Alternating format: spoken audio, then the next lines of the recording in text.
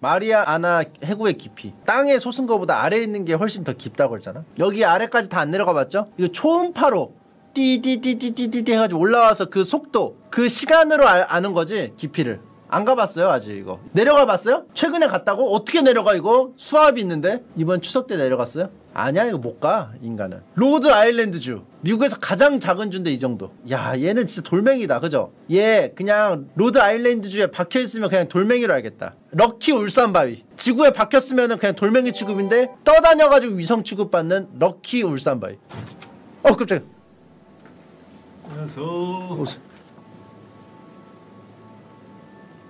이거 더 작게도 볼 수 있어요? 더 작겠대 인간 몸속으로 들어갈 수 있어요? 할 수 있어. 인간. 뾰족 뒤지, 달걀, 지렁이, 커피콩, 샤프심, 개미, 족밥 개구리, 좀 개구리밥이요. 족밥 개구리가 아니고 좀 개구리밥. 좀 개구리밥,